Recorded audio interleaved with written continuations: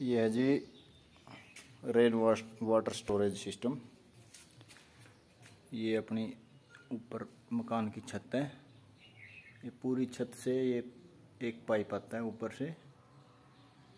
और इस पाइप में ये टीप बाँध दी है और यहाँ से ये डायरेक्ट सीधा ये अंडरग्राउंड टैंक है।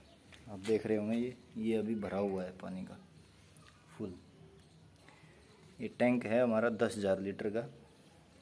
ये पूरा बड़ा टैंक है, आप देख रहे हैं। ये पूरा टैंक है इतना।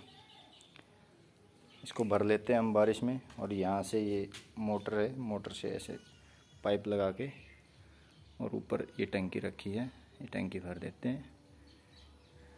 ये हमारे यहाँ पे नहर का पानी की सुविधा नहीं है, वाटर सप्लाई इतना है नहीं तो इसलिए हम इसको यूज़ करते हैं। हम जैसे जून से जैसे ही बारिश स्टार्ट होती है जुलाई में, जुलाई, अगस्त, सितंबर, अक्टूबर, नवंबर तक हमारा बारिश का ही पानी यूज़ करते हैं हम। ये आप देख रहे हैं रेन वाटर को हम स्टोरेज करते हैं। एक्स्ट्रा पानी इधर से, नाली से बाहर निकल जाता है।